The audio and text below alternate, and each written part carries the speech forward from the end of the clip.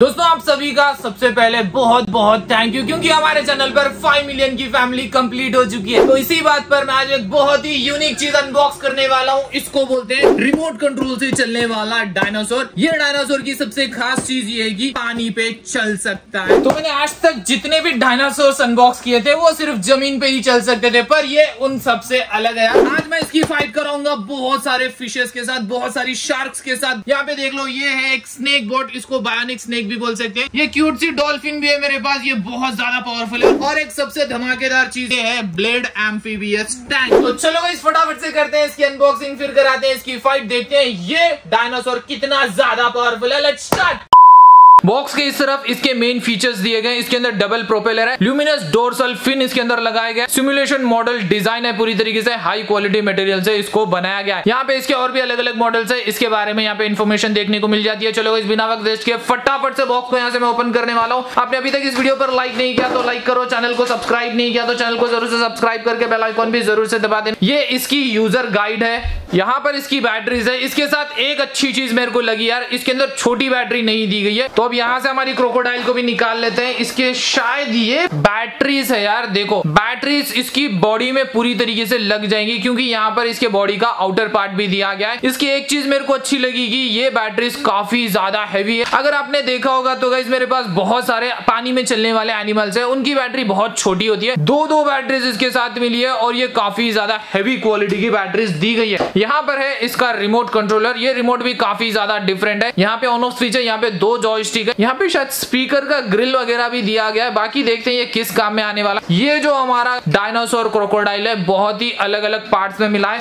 तो फटाफट से मैं इसको जोड़ देता हूँ। तो फटाफट से इसको यहाँ से भी मैं जोड़ देता हूँ। इसको जोड़ना भी बहुत ज़्यादा ईजी है। ओ माई गॉड जैसे हम इसको पानी में रखेंगे तो इसके आईज के अंदर रेड कलर की एलईडी आने लगेगी। इस तरह का डिज़ाइन देखने को मिलता है। सबसे खतरनाक है इसके टीथ भाई साहब लग रहा है कि यहाँ पे कोई रियल टीथ इन लोगों ने लगा रखे हैं। यहाँ पर इसकी पूंछ काफ़ी ज़्यादा फ्लेक्सिबल है। यहाँ पे इसकी पूंछ के पास इस तरह की एक पतवार दी गई है। यहाँ पर सामने के फिन्स है, यहाँ पे पीछे के फिन्स है। सामने की फिन्स के अंदर यहाँ पे डुअल मोटर इसके अंदर अटैच किए गए हैं और इसके प्रोपेलर्स काफ़ी ज़्यादा डिफरेंट मेरे को लग रहे हैं। तो ये बैटरी इसकी यहाँ पर इस तरह से लग जाएगी। अभी ये डायनासोर क्रोकोडाइल का कंपेरिजन मैं एक बेबी क्रोकोडाइल से करके बता देता हूँ। मुँह के अंदर बहुत ज़्यादा टीथ दिए गए इसके मुकाबले में। बाकी दोनों की लेंथ उतनी है और दोनों का वेट आपको मैं बताऊँ तो गाइस ये इससे काफ़ी ज़्यादा भारी भरकम है, क्योंकि इसके अंदर काफ़ी हैवी वाली बैटरी दी गई है। बाकी यहाँ पर इसके अंदर फिन्स देखने को मिल जाते हैं, पीछे की तरफ़ भी फिन्स दिए गए इसके अंदर लेग्स देखने को मिलते हैं। इसके सामने के लेग्स के अंदर ही यहाँ पे दो प्रोपेलर्स दिए गए यहाँ पे एक छोटी सी बैटरी हम लोगों को डालनी पड़ती है, वो बैटरी भी रिचार्जेबल होती है। और ये सबसे खतरनाक दिखाई देने वाली चीज़ बायोनिक स्नेक भी है मेरे पास, और एक शार्क भी है, और एक सबसे ज़्यादा पावरफुल चीज़ भी इसको बोलते हैं ब्लेड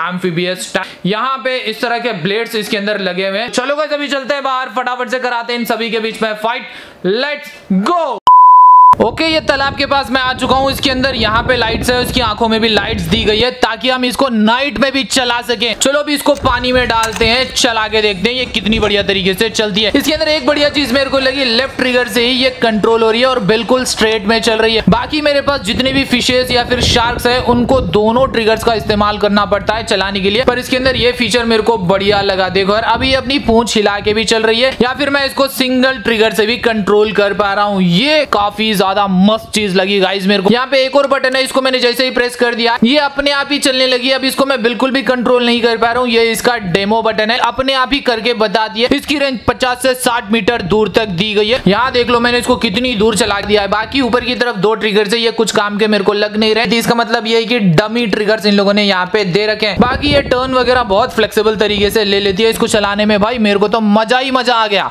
अब ये बयानिक एलियन स्नेक को टेस्ट करके देखते हैं। ये पानी के ऊपर ऐसे चलता कि जैसे ज़मीन पे चल रहा है। अब इसके साथ एक अलग तरीके की चीज़ करेंगे। यहाँ पे एक डक का बच्चा है देखते हैं गाइस इसके पास तक लेके जाकर ये किस तरह से रिएक्ट करता है। अभी तक तो ये बिल्कुल भी डरा नहीं है आप देखो ये यहाँ से दुम दबाकर भागने लगा। क्योंकि गाइस ऑब्वियसली इसको देखकर कोई भी डर जाएगा यार क्योंकि ये दिखने में इतनी ज़्यादा डेंजरस चीज़ नज़र आती है। पानी के ऊपर मैं इसको बहुत दूर तक चला चुका हूँ तकरीबन 100 मीटर दूर तक मैंने इसको चला दिया है। अभी भी ये मेरे रिमोट से प्रॉपरली कनेक्टेड है। अब ये डक यहाँ से निकल चुकी है। की हालत खराब खराब होने लगी है। एक काम करते हैं, हमारे स्नेक को भी हम लोग इस तरफ़ लेके आते हैं। गाइज़ ये पानी के अपोजिट डायरेक्शन में भी बहुत अच्छे तरीके से तैर सकता है। इसको भी चला के भाई, अलग ही मज़ा आता है पानी के ऊपर। अब ये क्यूट सी दिखाई देने वाली आरसी डॉल्फिन को टेस्ट करके देखते हैं। यहाँ पे इसका डेमो का बटन है। जैसे ही मैंने प्रेस किया है, इसकी स्पीड देखो, कितनी ज़्यादा खतरनाक हो चुकी है। डॉल्फिन अपने आप ही पानी के ऊपर तैरते रहेगी ऑटोमेटिक तरीके से। अब मैं इसको मैनुअली भी चला के बता देता हूँ। यहाँ पर इसके बटन है, इसको लेफ़्ट राइट कंट्रोल करने के लिए। लेफ़्ट साइड में इसको सीध में चलाने के लिए एक और बटन दिया गया। ये रिमोट खराब हो गया था मैंने अभी इसको प्रॉपर तरीके से रिपेयर कर दिया है। अब मैं हैमरेट शार्क को पानी के ऊपर चला के बता देता हूँ। पानी के ऊपर मैंने इसको रख दिया इसकी सबसे खास चीज़ है इसकी पूंछ।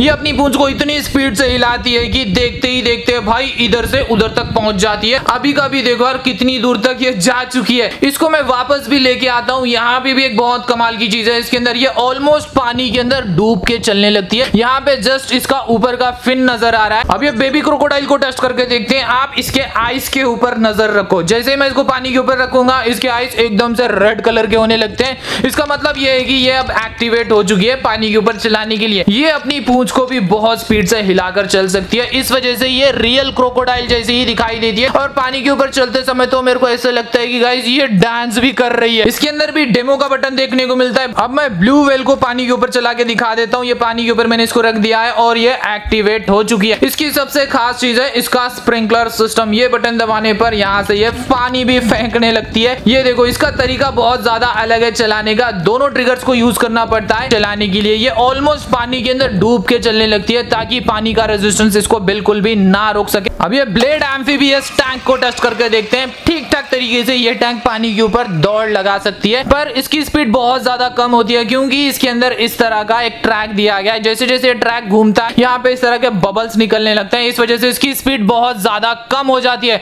चलो गाइस पहले इन दोनों के बीच में कराते हैं रेस देखते हैं दोनों में से कौन जीतता है। ओके चलो रेस अभी स्टार्ट हो चुकी है। ऑलमोस्ट डायनो क्रोकोडाइल बहुत ज़्यादा आगे निकल गया है, क्योंकि इसकी स्पीड बहुत ज़्यादा गजब की है। वहीं दूसरी तरफ़ अपनी रियल जैसी दिखाई देने वाली बेबी क्रोकोडाइल थोड़ा सा स्लो स्विम कर रही है।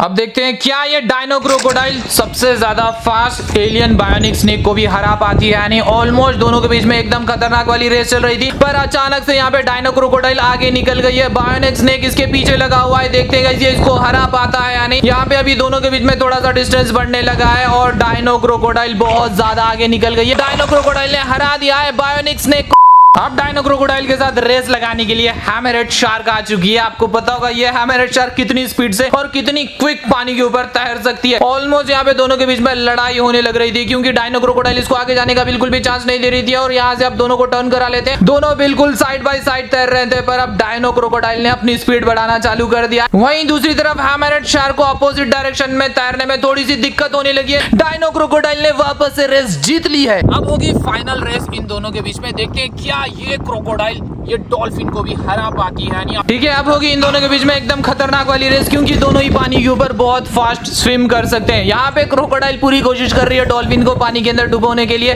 पर डॉल्फिन देखो, और इसके नीचे से निकल के भागने की पूरी कोशिश कर रही है। ओ माई गॉड यहाँ पे दोनों के बीच में एकदम खतरनाक सी लड़ाई होने लगी है।